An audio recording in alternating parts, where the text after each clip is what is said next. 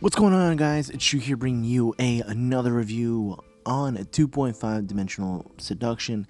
Apologies for the last couple days not being able to upload. Was at a con.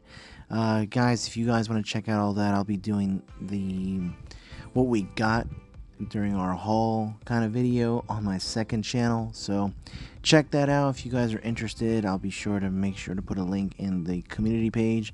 But check that out. This was a fun episode though. Let's go into it. So we start off with Mikari hopeful to find her good old senpai in the room.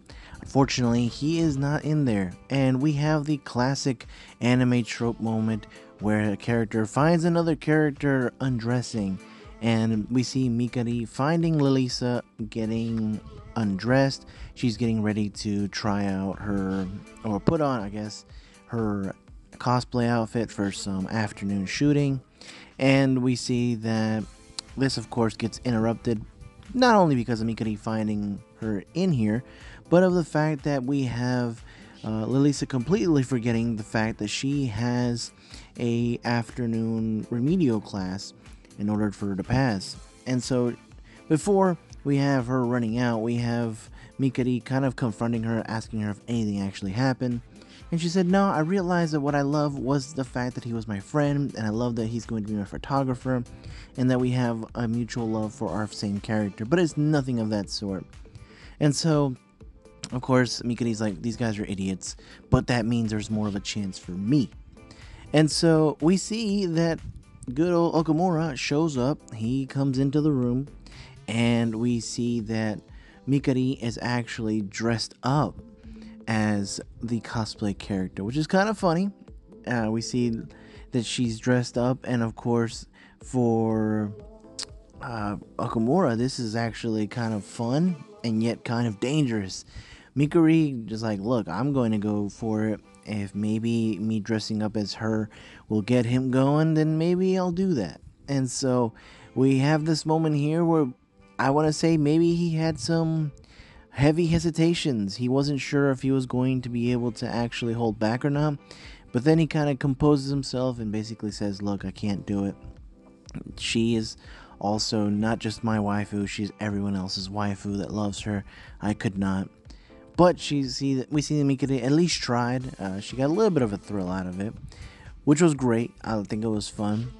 We would see Lilisa actually coming back into the room, seeing the fact that Mikari is in cosplay, and she apologizes. And Lilisa just doesn't get angry. She's like, "Oh my god, like I can finally see um, Rarisa. I can't remember the character's name, but also in live action. This feels so real. Like awesome."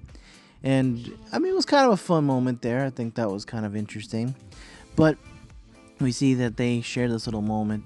Uh, we have uh, Okumura going and finding, I believe it's Ogino, I believe his name was, and he actually set, was seeking him to possibly find uh, some kind of practice in order for him to be a better photographer. He does this on the weekend, and it's kind of a fun little afternoon shoot. We see that he and Ogino are taking pictures of Magino, Magino, I believe her name was. Apologies, guys. I'm trying to remember the names. Sometimes I kind of forget with everything that I'm watching and reviewing. So apologies.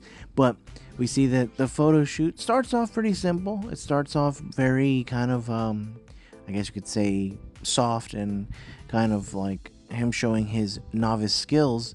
But we see as the postures, I guess the positionings and the way she looks also a little more suggestive looks.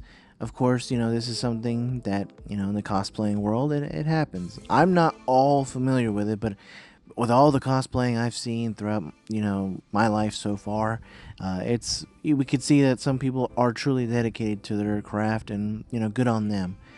However, we see that uh, as the time goes on, the pictures actually get better quality.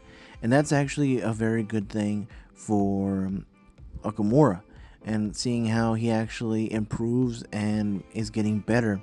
And we see that for like for Ogino, he is trying to make sure that Magino gets more into like the top spot now that one of them has retired. And of course, Okumura doesn't necessarily want to be in the top spot, but he would love to bring uh, Lalisa more into a better, I guess, more well known spot. He actually conveys this message to her, and she's like, Well, you know, I was doing this for fun, but if you want to get there, I would love for everyone to know the love that we have for this character and you know we can get the top if we'd like you know but most of all most of all i want to just be able to have you know our, my character or our character to be loved more.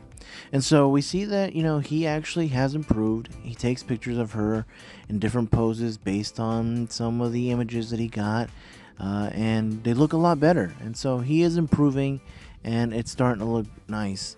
However we have uh, an issue and that is that the student council president actually shows up to his club room and when confronted he is asked you know you know do you do you know that you actually have not enough members to be considered an official club and therefore you're being basically taken out of this room in order to get this new club that requires this room and we see that they may be losing their space, which is sucky.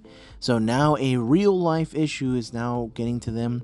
What are they going to do? We'll check that out next episode. But let me know what you guys think. I'd love to know your thoughts. As always, though, stay safe, and I'll catch y'all later.